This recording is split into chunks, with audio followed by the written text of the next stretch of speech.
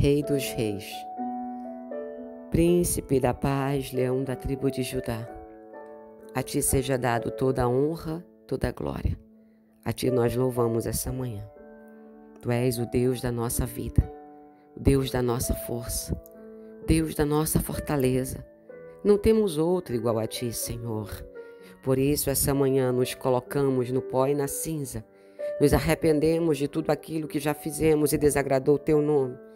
Pedimos perdão pelas nossas transgressões.